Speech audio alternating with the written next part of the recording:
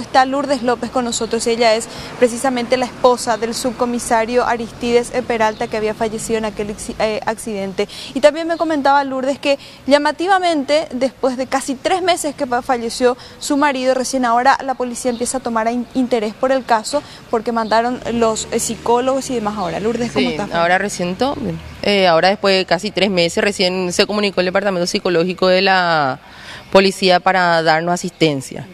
Pero lo simpático, eso digo, por más que fueron muy amables, todo, pues sabiendo que yo tengo tres criaturas, ellos se fueron sin una psicóloga infantil y me dicen otra vez que mis criaturas necesitan psicóloga infantil. ¿Cómo se van a hacer una visita sin una psicóloga infantil?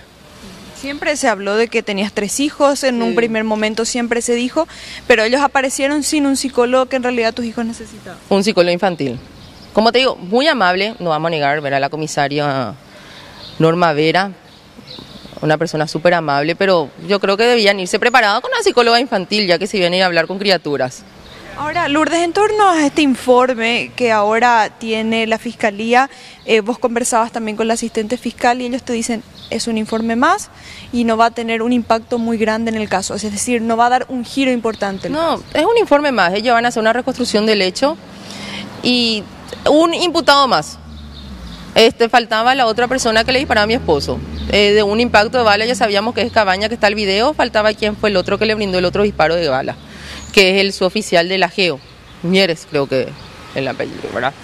Y eso es lo que vamos a estar esperando, que pero no cambia nada, como digo, el hecho no cambia, mi esposo está muerto, no impacto de bala, los dos provenientes de la policía, de, sus de sus compañeros de trabajo no hay, no, a mí no me entra en la cabeza que tal disparo fatal, tal esto, tal aquello, si él está muerto por los dos, no por uno. Él está ahora, no, no está acá presente. Bueno, eh, en un primer momento dio la impresión de que la policía siempre quiso ocultar este caso porque el propio comisario Cabañas nunca mencionó nada y que después de que aparecieron los videos recién se empezó a tomar la intervención. Así mismo, de un comienzo. Es más, eh, a la una y media ya sabía, tenían conocimiento de lo ocurrido y ellos no contaron la verdad, dejaron que Cabaña con todo su grupo se queden a hacer el procedimiento, porque ya ahí enseguida no le detuvieron, no avisaron a la fiscalía para que se le pueda apresar, ya para que se pueda, pueda venir otro grupo a hacer la intervención y a juntar las evidencias. El informe criminalista dijo bien, toda la evidencia del crimen fue modificada y contaminada. ¿Y quiénes fueron los que modificaron contaminada? Los que están afectados dentro de la carpeta fiscal. Cabaña, eso se quedó ahí a poner.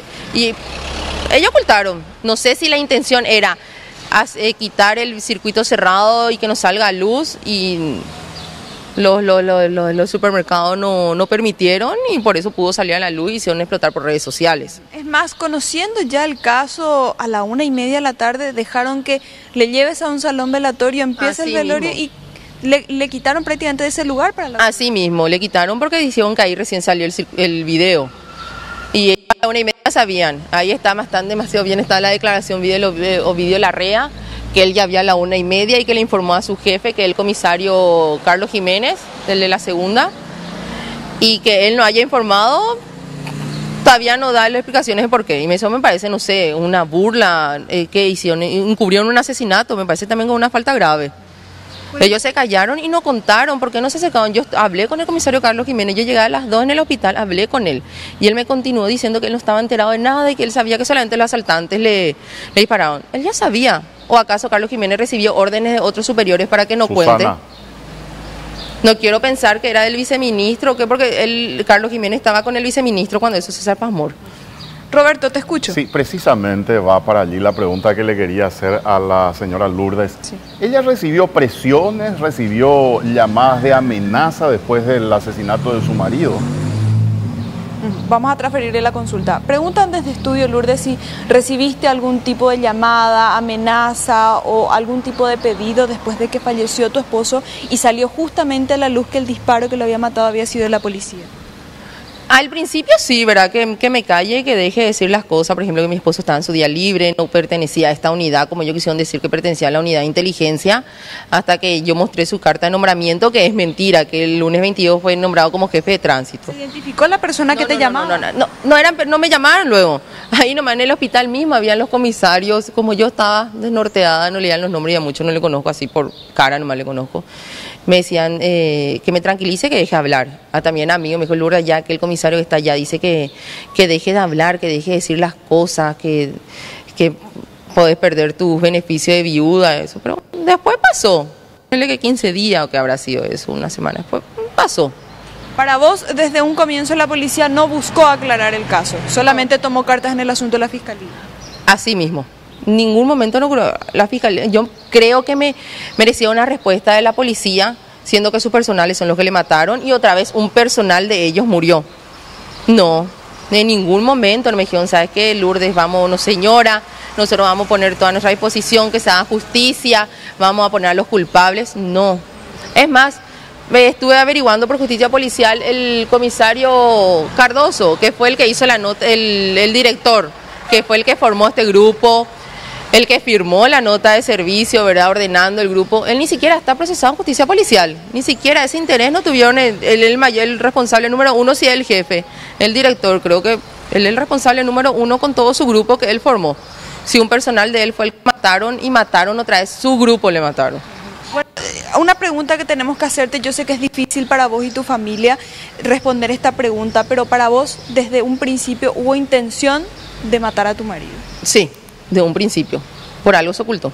Como dije, iba a ser tan diferente la historia si ellos en un comienzo contaban la verdad, si se acercaban, me hablaban claramente, si en el hospital ellos contaban. Imagínate, ocultar a la una y media ya, ya tenían conocimiento los comisarios del video y ellos no contaron. Es porque hubo intención.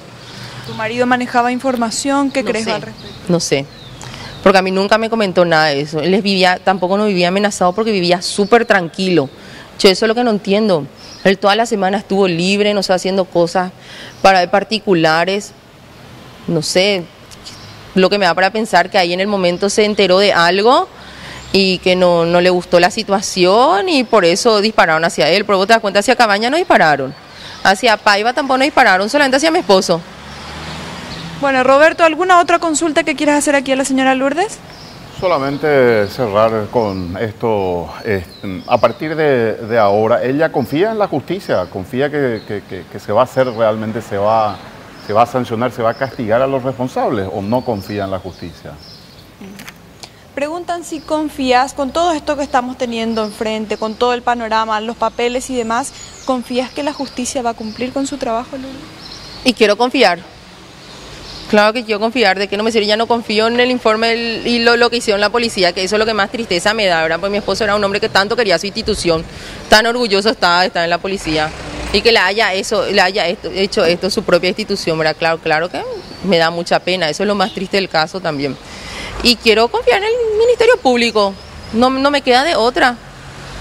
Vamos a creer que la justicia existe y que van a, hacer todo en forma correcta. Vamos a confiar en la, en la fiscala del caso, en Sandra Pariña, con los fiscales ayudantes. No me queda otra.